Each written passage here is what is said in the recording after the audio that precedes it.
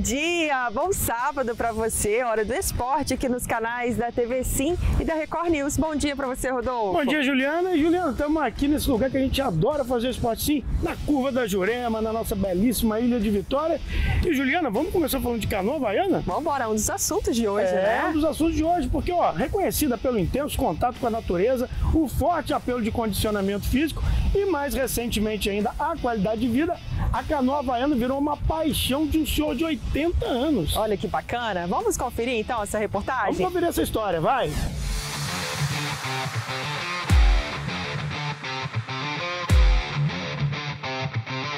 Seu Zé Lindo é um apaixonado por canoagem. O esporte faz parte da sua vida três vezes por semana.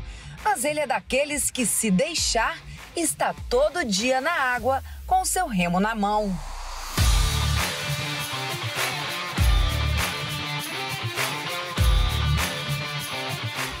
Parece, tá?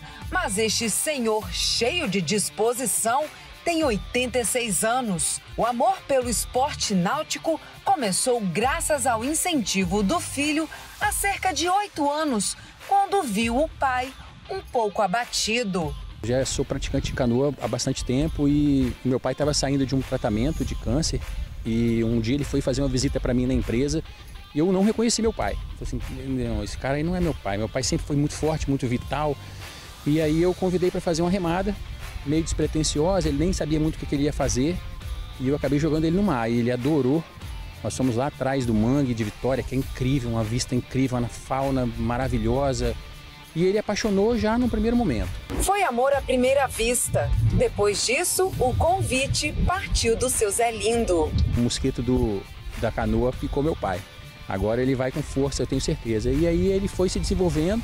E aí eu coloquei ele num clube que, da minha confiança, que é o Vitória Vaá, que é um clube incrível, com pessoas que abraçaram meu pai e hoje ele é o, é o mascotão da galera. E ele confirma. Gostei de primeira, coisa maravilhosa. Eu nunca mais deixei de remar. Estou aí já há uns oito anos remando e eu sempre fui esportista, sempre fiz alguma coisa. Fiz judô, fiz essas coisas todas. Mas a canoa é apaixonante, viu? É apaixonante mesmo. Para seu Zé Lindo, este é o melhor esporte do mundo. E aqui neste cenário deslumbrante, ah, melhor ainda. Amizade, terapia, esse ar, esse ar de manhã, essa natureza, você vê essas gaivotas por aí, ah, golfinhos, tartarugas, e é uma beleza, isso é maravilhoso, gente. Eu acho que é a melhor coisa do mundo é remar, não tem outra coisa não, viu? Sou apaixonado por remar. Fernando, que também é um apaixonado pela canoa, diz que é mais que um esporte é um estilo de vida. Primeiro que a nossa raia aqui é incrível, né? E, e, quem gosta de natureza, quem gosta desse contato com, com o mar, com o vento, com o sol da manhã, ele é um esporte completo para isso. Porque ele vai te colocar dentro de uma natureza incrível e a socialização é muito grande. Então assim, a gente consegue amigos que a gente jamais imaginou que fosse ter e de idades variadas. Então a gente tem um mix de pessoas praticando a canoagem hoje aqui no Espírito Santo que nos permite ter essa integração entre os mais velhos, com os mais novos, com as crianças, com quem quer competir ou não, quem quer só passear, quem só quer é, contemplar a natureza. Então é difícil não gostar. E o filho do seu Zé Lindo não tem dúvidas que a canoa ajudou inclusive a salvar a vida do seu pai. Ele passou um bom tempo na UTI e os médicos disseram que o que salvou o meu pai foi a quantidade muscular que ele tinha. Ah, então, assim, os músculos ajudaram o, o vírus, né, o Covid, não atacar os órgãos vitais numa velocidade muito rápida.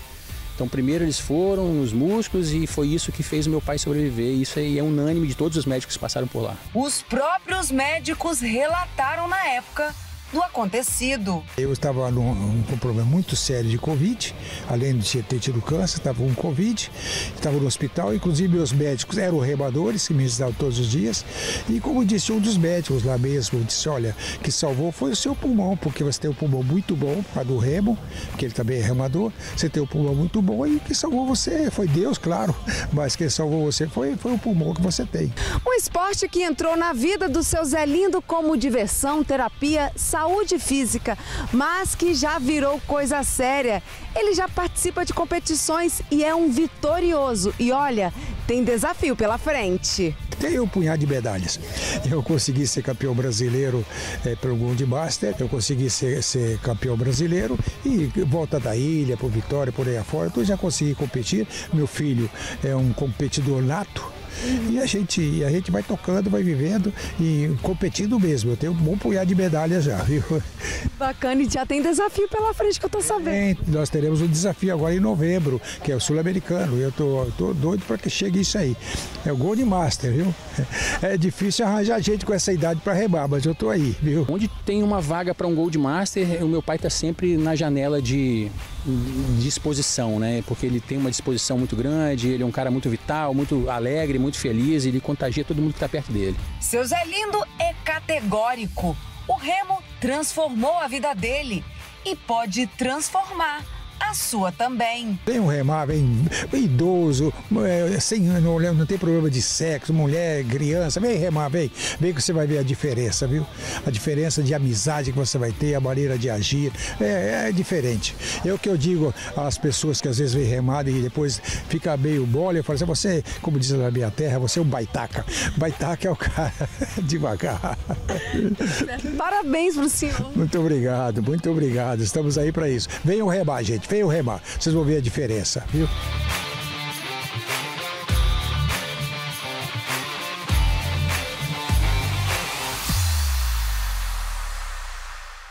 Juliana, agora vamos dar uma olhada na história do Kawai Kogo. Ele tem apenas 12 anos e foi para Portugal para curtir o sonho de pegar ondas lá em Portugal. E tem muito pela frente ainda, né? Um é... futuro promissor. Vamos conferir essa história.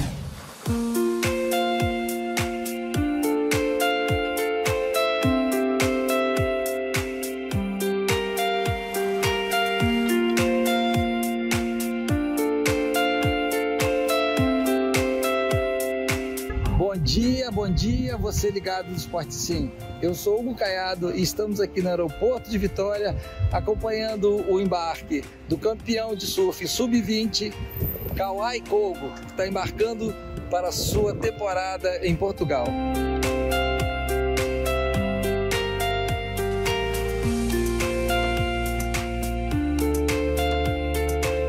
Fala galera, sou o Cogo, sou surfista, moro na Barra do Jucu, no Espírito Santo.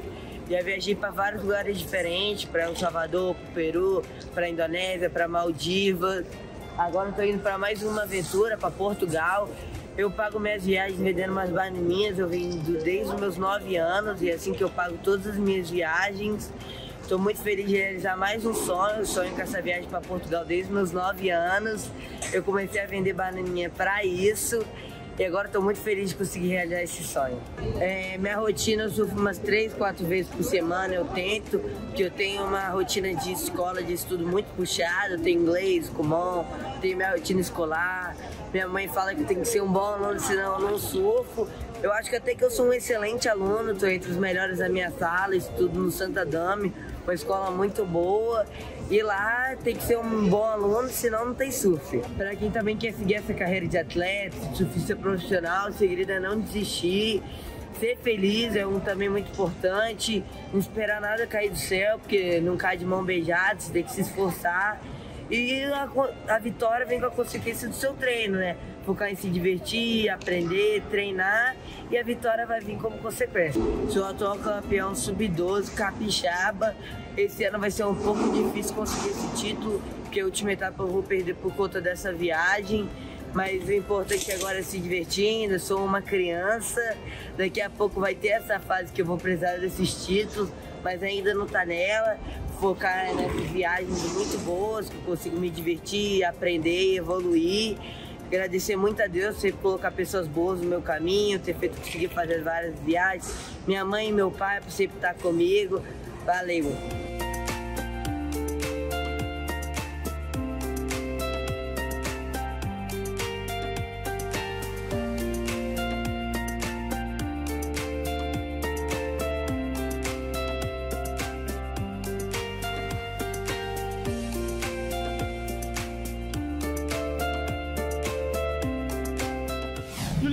Mudando de assunto, vamos falar da exposição fotográfica contando a história da capoeira de forma itinerante.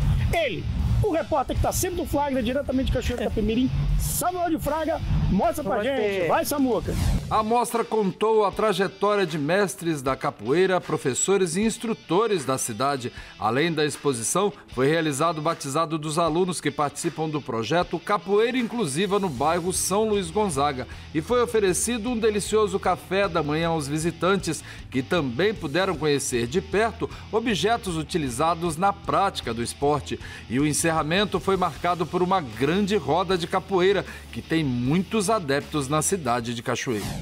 Vamos até Linhares, Linhares, porque tem mais uma edição do quadro Mandou Bem. Uma paratleta lá da terra do Cacau, de Linhares, mandou bem na terceira etapa estadual de Jiu-Jitsu e levou a medalha de ouro para casa. Epa, bom demais, hein? Mandou bem, vai!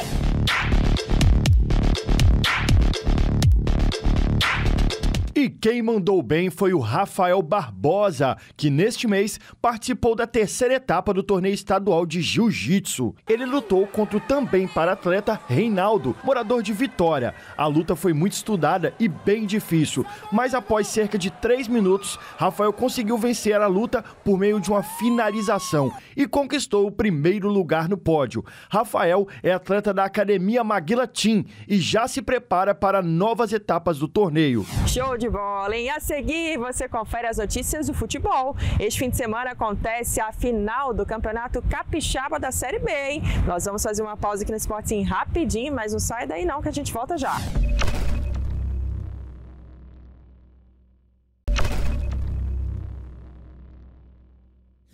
Estamos de volta com o Esporte Sim. Agora chegou a hora de falar do Campeonato Capixaba da Série B, não é isso, Rodolfo? É isso aí, Juliana. Nesse sábado tem decisão, né? Decisão da competição, não é isso? Isso mesmo. Jogo único entre Jaguaré e Rio Branco de Venda Nova no estádio Kleber Andrade. Que horas, Rodolfo? 15 horas. Pois é, e vamos ver como é que os dois tricolores conseguiram a vaga para a final e, consequentemente, o acesso para a primeira divisão do ano que vem. Na tela.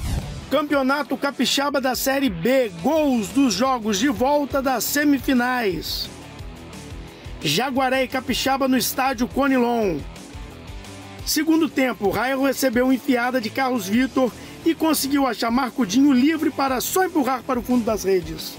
Gol do Jaguaré, final. Jaguaré 1, Capixaba 0.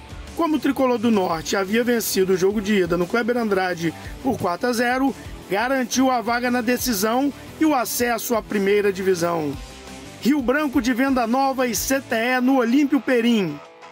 Todos os gols saíram no primeiro tempo. Marquinhos invadiu a área pela esquerda e tocou para Luiz Felipe, livre, abrir o placar para o Brancão Polenteiro. Depois foi a vez de Marquinhos arriscar o chute e fazer o dele também. 2 a 0 para o time de Venda Nova do Imigrante. E de falta, Gustavo Tonoli Fechou a conta. Final, Rio Branco de Venda Nova 3, CTE 0. O Brancão, que venceu a partida de ida em Colatina por 2 a 1, ficou com a vaga e garantiu o retorno elite do futebol capixaba. Parabéns, hein, Juliana? Parabéns pro Jaguaré, parabéns pro Bruno de Venda Nova. Bem. Subiram os dois melhores times, agora vamos ver quem vai ser o campeão, né? Isso mesmo, vamos acompanhar aí, né? vamos acompanhar. Mas, ó, agora vamos dar uma olhada como é que foi a preparação do Jaguaré essa semana pra final. Vamos ver? Vamos ver agora. Vai, vai. Os jogadores realizaram um treino recreativo na tarde dessa quinta-feira no estádio do Conilon, se preparando para a grande final de sábado, que será realizada no Kleber Andrade. A partida vai ser única e, se houver empate, a decisão será por pênaltis. O técnico Vevé falou sobre a campanha do time. Na realidade, nós tivemos aí uma competição onde o grupo, de uma forma assim generalizada, esteve bastante comprometido, conseguimos resultados. Você vê que nós fizemos nove jogos, tivemos nove, é, oito vitórias e um empate. Então, jogo a jogo, a gente foi evoluindo, até mesmo porque a gente começou com 13 jogadores, dentro da própria competição a gente foi formatando a equipe e conseguimos né, o, o principal objetivo, que era o acesso, né, no sábado passado. E agora essa semana a gente administrando aí, procurando administrar, né, a euforia das pessoas, né, dos próprios jogadores, nossa também, né, pelo acesso conquistado e tentando né, manter o foco, um pouco difícil, Mas nós temos um grupo bastante competente. Na realidade, se nós estamos nessa posição, é, mérito todo deles, né? Por esse compromisso, por essa entrega. E estamos aí. Vamos pro sábado agora, jogo final no Kleber Andrade. Eu acredito que a gente tem muito pouca coisa para fazer ou, ou para acrescentar o grupo, né? O jogo em si. Vamos aguardar, vamos ver o que, que nos reserva até sábado. Apesar dos bons resultados durante todo o campeonato, que colocou o time na Série A do futebol capixaba, é preciso muito esforço e dedicação. A coisa não é tão simples como parece, né? Mas quando você pega um grupo que realmente tem, tem a, a intenção, ele se entrega e busca realmente é, se comprometer com, com, com, as causas do clube, né? Que é o, o nosso, o nosso caso, esse grupo realmente desde o início vem demonstrando isso e muito dificilmente a gente não conseguiria essa, essa classificação levando em conta essa, essa determinação desse grupo. Para mim, assim, é motivo de, de, de, felicidade ter um grupo com essa qualidade, jogadores de, de com passagem em clubes médios, até bons clubes, e vieram aqui dar seu contributo, né? Sua contribuição Felizmente tudo deu certo. Vevé já teve uma outra passagem no comando da equipe em 2010, quando levou o time da Terra do Café para a semifinal. Em 2009, né? Após ser, ter sido campeão pelo São Mateus, eu trabalhei no Jaguaré, recebi um convite em 2010 exatamente, onde a equipe se encontrava, se não me engano, na penúltima colocação. E a gente teve a felicidade de chegar e levar o grupo de 2010 até a semifinal. Jogo com o Vitória no Salvador Costa, aqui foi 1 a 1 e lá 2 a 2.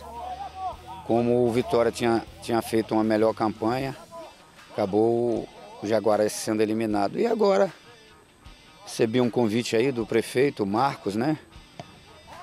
É, na realidade eu tinha também um compromisso já fechado com o Atlético da Lagoinhas para a Série D eu abri mão para ficar à frente desse trabalho, muito mesmo em convite do, do, do Marcos Guerra. Depois isso se confirmando com o presidente Wagner também. E dizer que é motivo de alegria, só felicidade. O acesso está aí, o trabalho, graças a Deus, bem feito. Não deixar jamais de valorizar realmente esses, esses craques aí que possibilitou que isso viesse a acontecer. O clima é de tranquilidade, mas todos sabem que, apesar da conquista do acesso à Série A, o título será um presente para completar com sucesso o trabalho realizado. Agora é, é coroar o trabalho que foi feito agora no decorrer do campeonato, né? Porque a gente conseguiu o objetivo do clube, que era o acesso, e agora a gente vai em busca do título, para terminar bem feito esse campeonato, um trabalho perfeito que a gente fez aqui no Jaguaré. Não, é um momento maravilhoso né, para um jogador, onde que o jogador sempre almeja chegar nessa, nessa situação, né, que é disputar um título em uma, em uma competição. E a gente vem trabalhando né, para chegar nessa conclusão e tomara que a gente saia com, com o título nesse sábado. Para o volante do Jaguaré, que já disputou outras decisões, é preciso segurar as emoções. Não, as emoções estão tá tranquilas, porque Graças a Deus já passei por essas partes já, né, dessa, dessas competições. E é só evoluir mais um pouco e saber que a parte nervosismo sempre acontece, né? Mas em nome de Deus a gente vai estar tranquilo nessa partida. O presidente do clube disse que o acesso do time à Série A é uma vitória de todos os torcedores após 13 anos de muita luta. É, agora com acesso à Série A, né? Tira um peso da, da, das costas da gente, né? É um 13 anos sem participar da, da competição da elite do futebol capixaba. Esperamos domingo lá, sábado aliás, contra o Venda Nova, realizar uma grande partida e almejar. Eu sempre almejei ser campeão. A subir seria um objetivo também, mas ser campeão também nunca fugiu dos nossos planos do nosso time. Do norte, vamos para o sul agora conferir como foi a preparação do Brancão Polenteiro. O time vem de oito vitórias e um empate. Na final da Série B, o Rio Branco de Venda Nova vai enfrentar o Jaguaré com a vitória sobre o Colatina por 3 a 0 na tarde do último domingo no estádio Olímpio Perim em Venda Nova do Imigrante no jogo de volta das semifinais do Campeonato Capixaba Série B 2024, o Brancão garantiu acesso à vaga na final. No comando do clube, Erivelto, a equipe treina pesado para o jogo que promete. E em entrevista por vídeo chamada, ele falou da expectativa para o jogo. Pela característica dos jogadores e pela forma com que os times jogaram ao longo do campeonato, nós do Rio Branco acreditamos que os dois times vão entrar com esquema tático ofensivo. Os dois times vão buscar vencer o jogo. A expectativa nossa, da diretoria e da comissão técnica, era sim de fazermos uma excelente campanha né, pelo nível técnico dos nossos atletas. E confesso né, que para todos nós né, os resultados foram ainda melhores, pois fizemos a melhor campanha ao longo de todo o campeonato da Série B. Erivelto é natural de Venda Nova do Imigrante, está no comando do clube desde 2018. Em outras edições do Capixabão, o time se destacou em 2018 com o terceiro lugar, em 2019 com o sexto lugar, em 2020 foi campeão, em 2021 vice-campeão e em 2022 ele foi rebaixado. Mas para o clube, o resultado desse ano foi melhor do que o esperado e o acesso à Série A do Capixabão é uma grande conquista. A classificação para a Série A 2024 veio na hora certa para o Clube de Venda Nova do Imigrante, o que vai trazer um espetáculo de futebol capixaba para os espectadores. E o jogo único da fase final acontece nesse sábado a partir das três da tarde no Kleber Andrade. E se houver empate em tempo normal, a disputa do título vai para pênaltis. A conquista do acesso para a Série A do Capixabão é uma grande conquista para nós do Rio Branco Futebol Clube como também né, gostaríamos de deixar os agradecimentos né, aos nossos atletas, à nossa comissão técnica e principalmente aos nossos patrocinadores, pois sem eles nós não conseguiríamos estar disputando a Série B. A avaliação da nossa comissão técnica será um jogo extremamente difícil, não só pela qualidade técnica dos jogadores, mas também por ser uma final onde tenho certeza que os dois times, né, embora já estejam classificados para a Série A do Capixabão do ano que vem, mas os dois clubes vão querer sair com o título de, de campeão da Série B. É, Juliana, agora saindo do futebol profissional, vamos para o futebol amador, que foram definidos os primeiros finalistas do Campeonato Municipal de Futebol Amador de Cachoeiro de Itapemirim 2023. Isso aí, a gente vai? mostra todas as regiões, é, né, Rodolfo? Isso aí, vai. Na tela. Em dois jogos eletrizantes, as equipes entregaram partidas bem disputadas e cheias de emoção, com jogadas de tirar o fôlego das torcidas. No quadro aspirante, os times do Bandeirante e do Vila Real fizeram uma partida acirrada de 90 90 minutos, que terminou em empate de 1 a 1. A disputa de pênaltis também foi de perder o fôlego, definindo o time do Bandeirante como finalista por 4 a 3. Já na categoria principal, o Santos do Zumbi vai disputar a grande final. Em um jogo bem disputado, a equipe derrotou o time dos Santos Dumont por 2 a 1. As semifinais foram realizadas no campo do Grêmio Santo Agostinho, no bairro Vila Rica. Os finalistas agora esperam os resultados das outras duas semifinais que acontecem aqui no próximo domingo, a partir de meio-dia e 45, no Grêmio Santo Agostinho, no bairro Vila Rica, onde é esperado um grande público e a entrada é gratuita. A população tem feito o seu papel, que é realmente ir até o estádio, comparecer, levar sua família, prestigiar os jogos e acompanhar o alto nível técnico que está acontecendo na nossa cidade, no nosso campeonato municipal. Mas eu destaco também não só a presença do público. Eu destaco também a parceria que está tendo com as empresas privadas, que estão nos ajudando a realizar o maior campeonato municipal de todos os tempos. A edição do Campeonato de Futebol Amador de Cachoeiro deste ano contou com oito equipes participantes divididas em dois grupos, organizada pela Secretaria Municipal de Esporte, Lazer e Qualidade de Vida, com 28 partidas. Neste domingo, nós teremos mais duas semifinais. O time do Márcio do Bela Vista enfrenta o Unidos do Valão na categoria aspirante e na categoria principal, o Master do Bela Vista enfrenta o Bandeirante do Aquidaban. Serão jogos sensacionais e a gente já convida o público para prestigiar.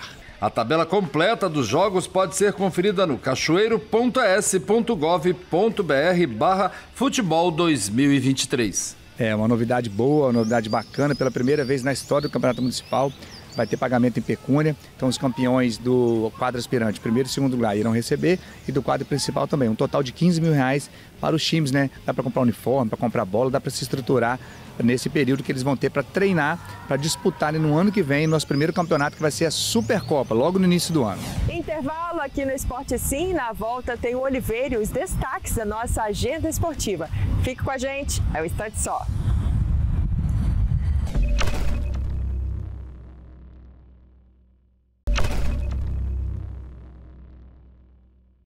Esporte de volta e chegou a hora de falar com ele.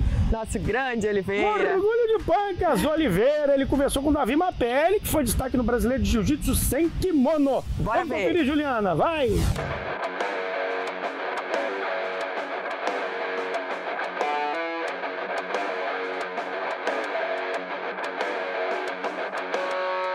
Atenção, amigos do Esporte Sim, nós estamos aqui na Serra porque nós vamos falar da história de Davi Mapelli, um atleta que se destacou no brasileiro da CBJJ sem kimono, estando em terceiro lugar. Nós vamos saber um pouco da sua história e trajetória agora na tela do Esporte Sim.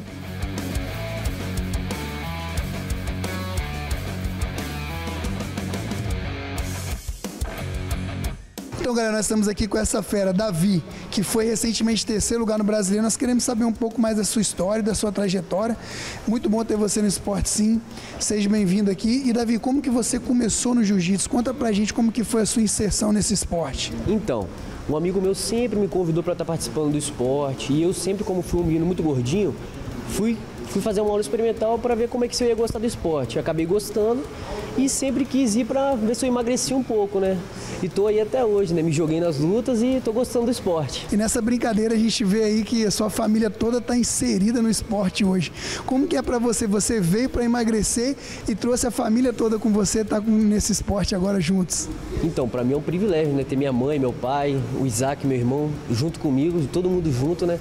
É uma união que tipo, a gente não tinha em casa, agora todo mundo tá todos os dias juntos aqui no tatame, né? O tatame uniu a família. Que legal. E na sua trajetória, a gente viu várias medalhas, a gente pode ver o seu trabalho aí tem sido muito bem feito aqui no CT Gus Jiu-Jitsu. Quais os principais títulos que você já conquistou nessa trajetória que você possa citar pra gente aí? Então, fui campeão com e sem kimono sul-americano, campeão pan-americano de kimono e o feito mais recente foi o terceiro lugar no Campeonato Brasileiro da CBJJ. E você tem algum sonho dentro do esporte que você ainda quer conquistar? A gente já vê algumas conquistas, mas qual é a conquista que você mais almeja nesse momento, que passa pela sua cabeça aí? Então, o europeu. Meu, a minha meta hoje é ser campeão europeu e campeão mundial. Estou trabalhando duro para isso. E a gente vê que você já ministra aula aqui também no CT. Tem a ideia futuramente de ter uma academia, de viver do esporte? Como que tá isso aí também? Sim, é um sonho, né? Ter a própria academia, o próprio espaço, né? Respe- é, admirando, seguindo os passos do meu mestre, né? No mesmo caminho. É isso aí. E pra galera que quer te seguir, quer te acompanhar, saber onde encontrar o Davi, deixa suas redes sociais aí pra ver. E com certeza a gente vai ver você conquistando o mundo aí. É meu Instagram, Davi Mapelli, underline BJJ. Mapelli com dois L's.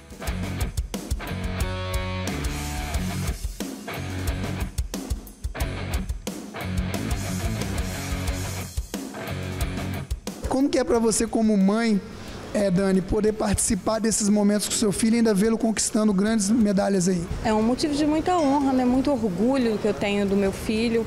É um filho excelente, né? esforçado, dedicado ao esporte e através da dedicação dele, do esforço dele, fez com que a gente tomasse gosto também, né?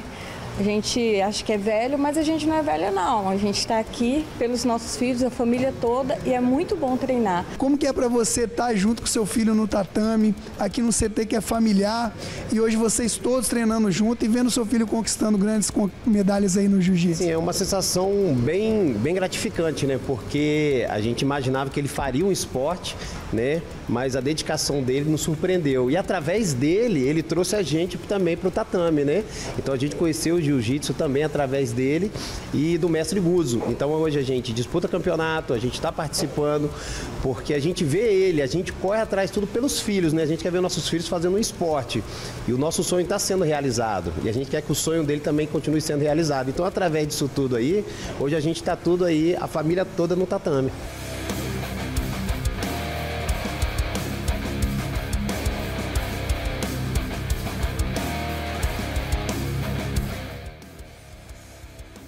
Podendo conquistar vários títulos aí, sendo destaque no Brasileiro da CBJJ, que é um dos campeonatos mais disputados do mundo. O que você tem a dizer do Davi para a galera aí, você que está é, fazendo com que ele venha se tornar esse campeão?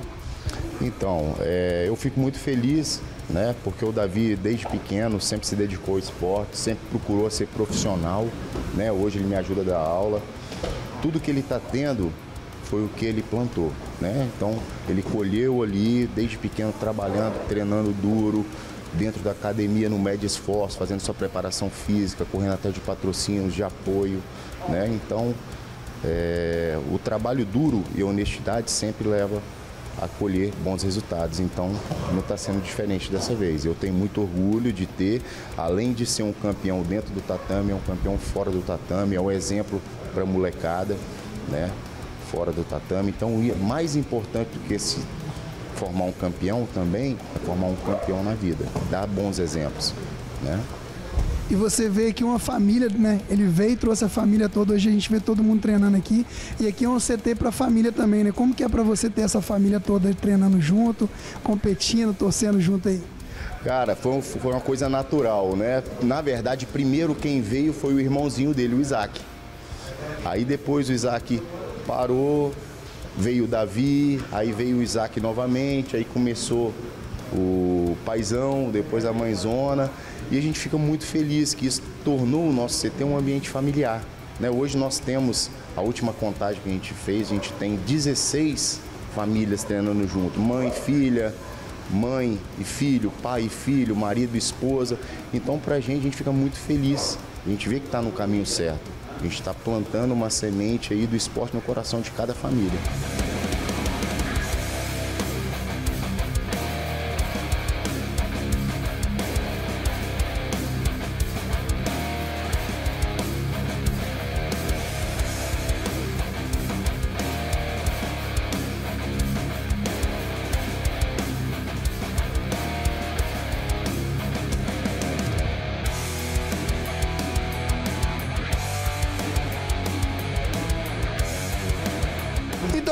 Falamos com o Davi Mapelli e aqui tá toda a família Mapelli que treina junto, compete junto, torce junto, vibra junto e isso é esporte aqui na Serra. Nós ficamos muito felizes de contar histórias assim e você que tá aí, que quer treinar, vai com seu filho, vai com a sua mãe, chama todo mundo que o jiu-jitsu é para todos.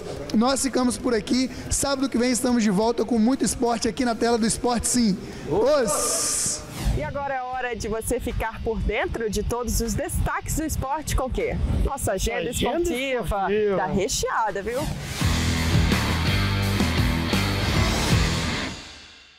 Já imaginou aprender a praticar um esporte com uma atleta pentacampeã mundial? A Neymara Carvalho está comandando um aulão neste sábado na praia de Carapebus, na Serra, até às 10 horas da manhã. A iniciativa é uma parceria entre a ArcelorMittal e o Instituto Neymar Carvalho, onde crianças e jovens vão aprender noções básicas de bodyboard e pegar as primeiras ondas.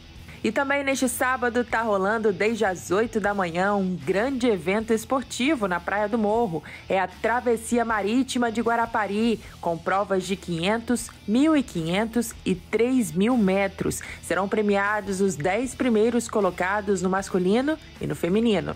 Vem aí neste domingo a caminhada de conscientização e prevenção ao câncer de mama do movimento Outubro Rosa. O evento é realizado pela FEC e será às 8h30 da manhã, saindo da Praia de Camburi, na altura do Pier de Emanjá. Neste domingo também tem Copa Capixaba de Wrestling às 9 horas da manhã na Arena Jacaraípe na Serra. O evento tem a entrada gratuita. Amanhã de domingo vai começar com a meia maratona de Vila Velha com distâncias de 21 10 e 5 quilômetros. A primeira largada será às 6 e meia da manhã na Praia dos Recifes. Já para quem vai correr os 10 quilômetros, será na Praia de Itaparica e 5 quilômetros da Avenida Gil Veloso, na Praia da Costa. A prova terá duração de 3 horas com a chegada no 38º Batalhão de Infantaria do Exército na Prainha. Rodolfo, você já fez crossfit? Ainda não. Mais uma das promessas do programa. pois é, sabe que rolou um super torneio da, maior da América Latina aqui é Vitória, mesmo? né? Pois é. E ó, a galera pega pesado, viu? Esse evento reuniu atletas de diversas categorias no último fim de semana. Vamos ver.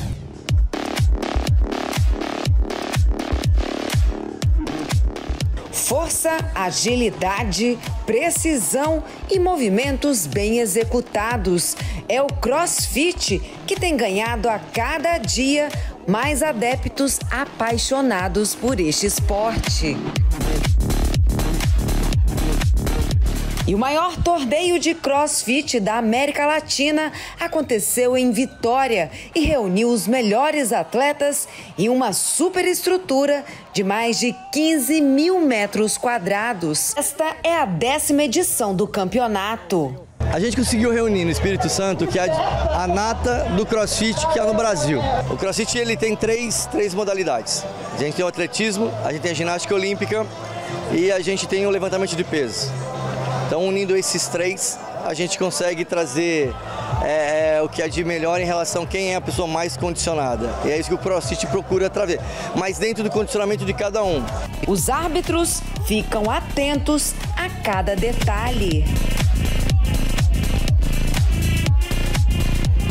Presta atenção neste competidor.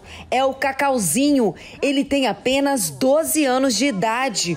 O corpo todo definido impressiona. O atleta, que é de Salvador, na Bahia, é um fenômeno do esporte. Graças ao cross. Mas antes do cross eu já fazia os abdominais em casa, flexão. É uma competição que dá pra, dá pra disputar, dá pra brigar.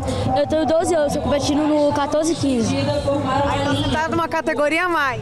É. Você pretende seguir aí nessa vida de crossfiteiro? Pretendo sim. É? Sempre. O pai acompanha em todas as competições e é o seu maior incentivador. Na verdade, eu treinava, levei ele na pandemia lá pro, lá pro boxe para fazer uma aula experimental. Gostou, o coach viu que dava bom, aí continuou. Tá aqui até hoje.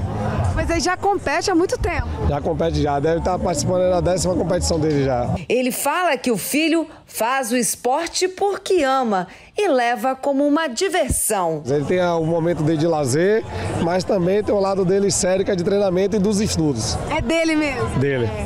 Acorda todo dia às 5 e 15 da manhã. A gente conversou com pai e filho um pouco antes da competição começar.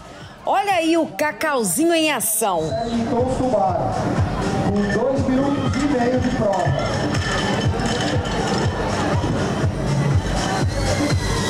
Lembrando que são 45 repetições.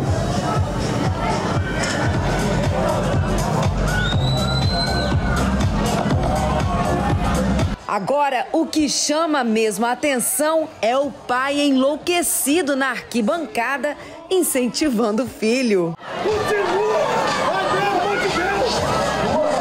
Ao final da disputa, nada melhor do que aquele abraço forte no filhão.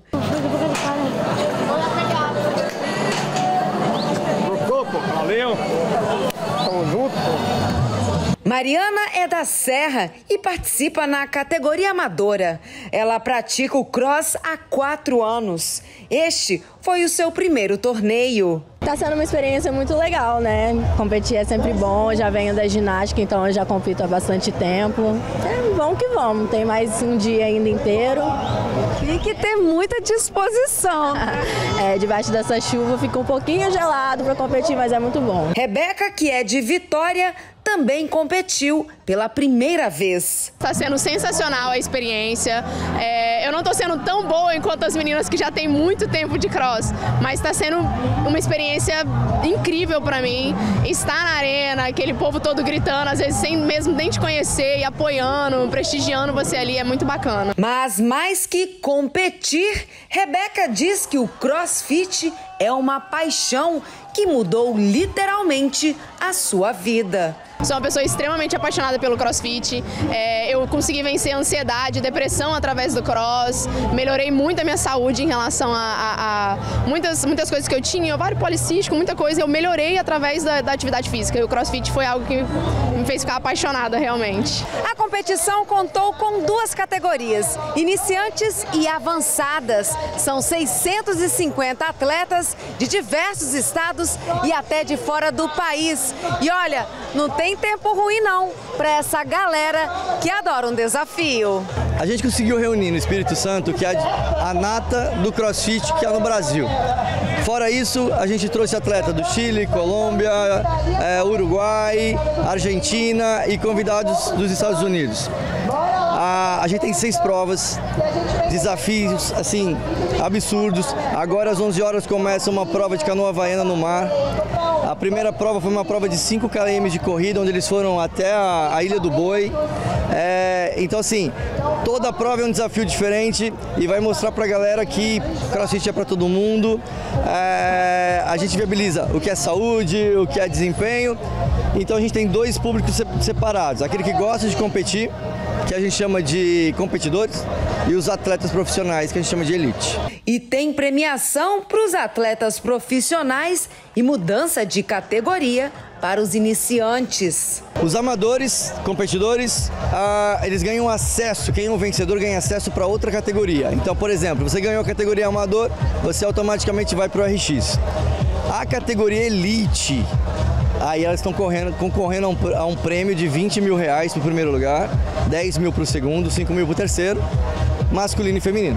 O evento também contou com uma feira de conexões com expositores dos mais diversos segmentos, trazendo muitas novidades para o Espírito Santo, além de área de lojas com diversas marcas da modalidade e uma praça de alimentação com food trucks especializados em comidas regionais.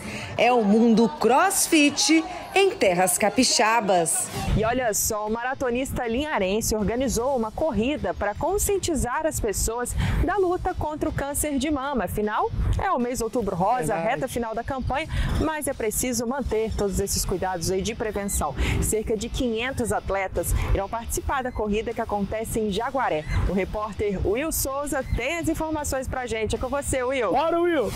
Mês de outubro, um mês muito lembrado por conta da conscientização aí do câncer de mama, o câncer que mata muitas pessoas, muitas mulheres no mundo inteiro. A gente tem essa conscientização para poder combater esse perigo. E aqui em Ares, para ter esse alerta, nós temos um corredor que vai aliar a conscientização com o esporte, que é o Toninho. Toninho que é muito conhecido não só em Ares, mas também em todo o estado por conta das maratonas. E nesse domingo agora vai ter um evento importante, não é, Toninho? Um evento muito, boa tarde galera, um evento muito importante, Will, é a terceira corrida da rainha do Outubro Rosa. É, é uma campanha contra o câncer de mama, todos pelo um bem maior. Nós vamos ter aí 40 cidades marcando presença, seis estados do Brasil vai estar marcando presença na Corrida da Rainha esse final de semana. Com largada 8 horas, nós temos uma presença já de 500 atletas inscritos, né? Estamos encerrando as inscrições, tem pouquíssima inscrição né? E vamos realizar esse evento com muito amor, com muito carinho e a galera toda, Linhares, toda a cidade do norte, sul do, do Espírito Santo está marcando presença na Corrida da Rainha do Outubro Rosa. Uma campanha contra o câncer de mama que é muito importante nesse momento Você falou dessa importância, são 10 quilômetros para conscientizar, né? Muita gente correndo, tem para-atleta também participando, mas essa questão de você levantar esse evento, essa corrida, tem algo muito a ver com você, não é verdade? É, Will, é, no ano 2000, a minha irmã mais velha, ela morreu com câncer de mama. Então a gente gostava muito por ela ser a irmã mais velha, eu chamava muito ela de a ah, minha rainha, minha rainha. Beleza, aí eu comecei a organizar a corrida tem sete anos. Eu sou atleta maratona há 22 anos. Aí surgiu a ideia de unir rainha com tubo rosa entendeu? Aí essa corrida é homenagem à minha irmã que morreu com câncer de mama. Aí eu, minha rainha, minha rainha, aí eu uni a rainha com o tubo rosa. Aí surgiu a corrida da rainha do outubro rosa. E hoje é um sucesso. Tem ainda vaga, dá tempo de se inscrever? Ainda dá tempo ainda, galera, de fazer inscrição, tá? Dá tempo eu te contato só pelo WhatsApp, pelo site já encerrou, camisa também já encerrou, mas dá tempo você ir lá pegar seu chip, seu número de peito, fazer sua caminhada. Eu não posso correr, vai caminhar os 10 km, os 5 km. O importante é estar tá ali junto com a campanha e simbolizando aí o contra o câncer de mama, galera. Tá todo mundo junto e conto com a presença de Jaguaré, de toda a nossa cidade, marcando presença na corrida da Rainha do Outubro Rosa. E vamos ter, vamos ter 10 atletas paralímpicos, né? Atleta deficiente da perna que vai correr os 10 km. Ou seja, não tem desculpa você que está assistindo, não quiser prestigiar esse grande evento, evento importante aí, já que o mês é de conscientização para esse assunto importante. Eu devolvo para você aí no estúdio. Rodolfo, agora tem uma pessoa aí que sempre colabora com a gente aqui no Esporte Sim, que mandou um vídeo pra gente que vai competir esse fim de semana, hein? Sabe quem é? Pessoa veloz. Pois é, Hugo, Cibem. Com você, Hugo. Fala pessoal, estamos aqui em São Paulo, em Iguaçu, quinta etapa da Top Series. Então a passada teve Endurance, é, sexta etapa da Endurance, já vim direto para cá. A gente fez corrida no sábado e no domingo, esse fim de semana. Tem uma corrida no sábado, duas no domingo. E vão ser as 13 terceira, 14 e 15 corrida do, da maior categoria do Brasil. Vem com a gente torcer, tô carregando a bandeira do estado. É, Juliana, boa sorte pro Hugo, né? Boa sorte, a gente tá aqui na torcida, viu? É isso aí. Bom, o Esporte Sim de hoje fica Já? por aqui. Pois é, o nosso próximo encontro é o quê? No sábado que vem, às Exatamente, 8h30 às da 8h30 manhã. da manhã. A gente espera. Esporte Sim. Até lá.